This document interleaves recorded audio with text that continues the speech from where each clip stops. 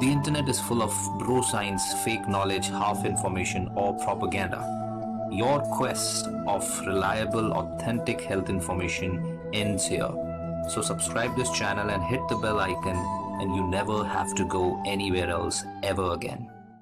so we are going to talk about cancer screening यानी कैसे पता करें कि आपको कैंसर का रिस्क है या नहीं हाउ वी डिसाइड स्क्रीन कैसे होता है क्या रिस्क होता है क्या इसका बहुत अलग अलग प्रकार के मेजरमेंट्स हैं कैंसर रिस्क के। आ, याद रखिए एक मेडिकल फ़ील्ड एक मेडिकल कम्युनिटी काम करती है रिसर्च स्टडीज़ पे सर्वेस पे और अपने प्रैक्टिकल एक्सपीरियंसेस पे इन सब चीज़ों पे। सो कैंसर रिस्क को स्टडी किया गया और उसके सर्वेज भी देखे गए कि सर्वे का मतलब है जिस जिसको कैंसर हुआ उससे पूछो क्या हुआ था भाई क्या किया तुमने ऐसा है ना? तो सिगरेट पी थी क्या? बीड़ी पिया था क्या? अच्छा सब कैंसर वाले बीड़ी पीते हैं। नहीं नाइन्टी परसेंट लोग जो बीड़ी पीते हैं उनको कैंसर होता है। ऐसा देखा गया। सो so, ये सर्वे हो गया और स्टडी हो गई। स्टडी सर्वे इनको पकड़ के फिर एक कैंसर रिस्क असेसमेंट का एक पैमाना बनाया जाता है और वो पैमाने को हम कैसे समझा सकते हैं? उसके डिफरेंट वेज हैं। उसके डिफरेंट रिस्क समझा के देख सकते हैं। कुछ लोग उसको एक्सप्लेन करते हैं। कुछ तरीके हैं जैसे एब्सोलूट रिस्क रिलेटिव रिस्क और ऑड्स रेशियो अब ये क्या बला है भाई? ई का हो रिया एब्सोलूट रिस्क का मतलब है this is something like a risk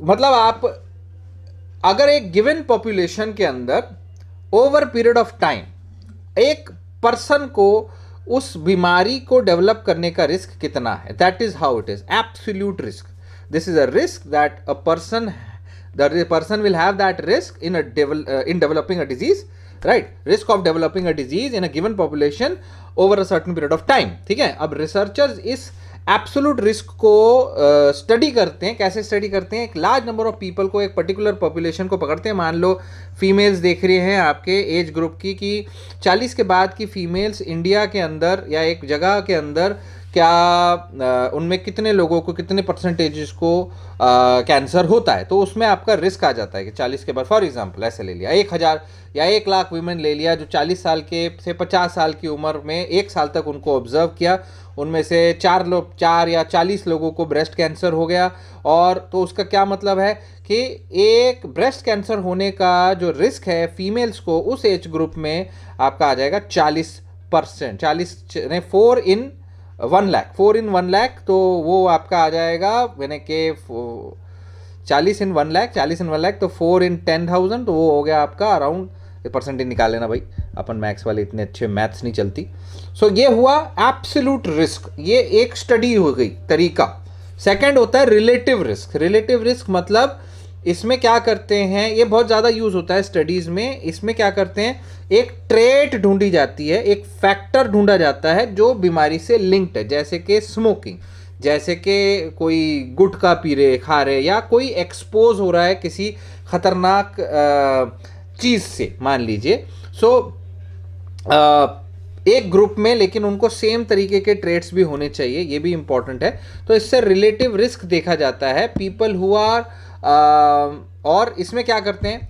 मान लीजिए, अगर आपको मल्टीपल ट्रेड्स हैं, ये भी देखा गया कि आप स्मोकिंग भी करते हैं, आप मोटे भी हैं, आपके ये ट्रेट हो गया, एक तरीके का ट्रेट हो गया कि स्मोकिंग इज़ अ ट्रेट जो कैंसर से एसोसिएटेड मोटापा कैंसर से एसोसिएटेड कुछ हेपेटाइटिस सी कैंसर से एसोसिएटेड तो अगर आपके एक से ज़्यादा ट्रेट ऑलरेडी एक से ज़्यादा फैक्टर्स है तो वो आपका रिस्क बढ़ा देगा। अगर आपके एक ही है तो हो सकता है या लेस देन वन है, एक भी नहीं है तो आपका रिस्क कम हो जाएगा। इसको बोलते हैं रिलेटिव रिस्क और ऑड्स रेशियो नाम की चीज़ भी होती है, जो कि केस कंट्रोल स्टडीज़ में किया जाता है, जहाँ पे बहुत ज़्यादा इन्फॉर्मेशन है ही नहीं कि हमको पता चले कि एक कैंसर किस चीज़ से रिलेटेड है। पता ही नहीं हमें कि भाई ये कैंसर जो है, आपका जो है, ये स्मोकिंग से होता है कि नहीं होता, हमें मालूम नहीं, हमें पता ही नहीं। हमें ये बोलना अलग बात है कि दुनिया की हर चीज़ स्मोकिंग से होती है, लेकिन क्या ये रिसर्च वाइज प्रूवन है? अगर आपको पता ही नहीं है कि, कि कौन सा कैंसर का कौन सा ट्रेट है कौन सा रिस्क है तो उस केस में ऑड्स रेशियो वाला तरीका इस्तेमाल किया जाता है। उसमें केस कंट्रोल स्टडीज़ की जाती हैं जिसमें दो ग्रुप ऑफ़ पीपल लिया जाता है उनको कंपेयर किया जाता है और और इस पर डिपेंड किया जाता है। वो ग्रुप ऑफ़ पीपल को चूज़ भी ऐसे किया जाता है कि उनको बीमी कुछ तरीके की बीमारी है कि नहीं है। उस केस में ऑर्ड्स रेशियो और स्टडीज़ में ये देखा जाता है कि उस मतलब उस ट्रेट्स में, मान लो हमने डायबिटीज़ वाले लोग ले लिए और उसको स्टडी किया तो उस स्टडीज़ में ये देखा जाता है, ये ये फाइंड आउट करने की कोशिश की जाती है बेसिकली कि क्या ये ट्रेट क्या ये फैक्टर डायबिटीज़ या ये जो बीमारी है, ये कैंसर से लिंक्ड है कि नहीं? ये फाइंड आउट करने की कोशिश तो ये दिस ऑड रेशियो जो है इट वी दे ये ये ट्रेट को देखता है एक्सपोजर को देखता है पीपल के विथ एंड विदाउट कैंसर किसको है, और फिर it helps to find out possible risk factors so ये सारी चीज़ें हैं जो हमारे को मदद करती हैं फाइंड आउट करने में कि भी आपका how basically how cancer risk is assessed हम कैसे बोल सकते हैं? कि अगर हम कहते हैं मेडिकल फ़ील्ड कहती है ये मत करो. प्रोसेस्ड फ़ूड मत खाओ.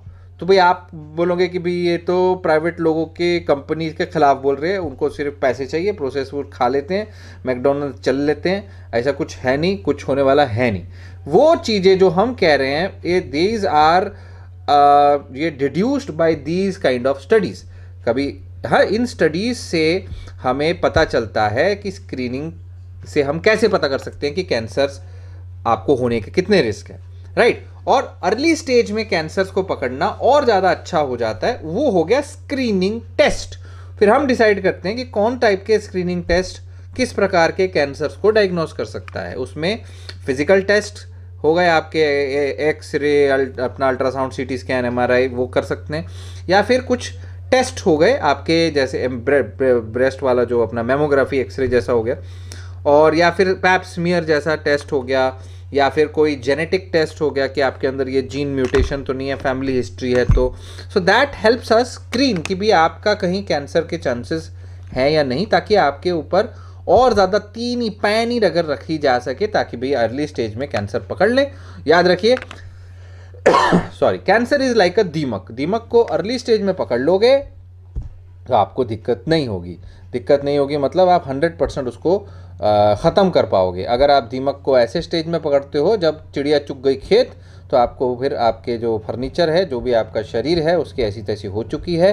फिर जो है, उसको और कुछ नहीं किया जा सकता। So that is how important this type of studies are that is how important listening to doctors are that is how important knowledge of health care is so इसीलिए अपने आसपास की चीज़ों को स्टडी करने के लिए, अपने आसपास जो आप खा रहे हैं, जो पी रहे हैं, उसमें क्या है, उसमें क्यों है, उसकी स्टडी आप करा करो। अपने डॉक्टर्स अगर ऑनलाइन आ रहे हैं तो उनको सपोर्ट करो और अच्छे नॉलेजेबल डॉक्टर्स के जो है, उनको शेयर करो। उनको शेयर करना बहुत ज़रूरी है आपको। So that's how it is thank you so much and that's all stay connected stay healthy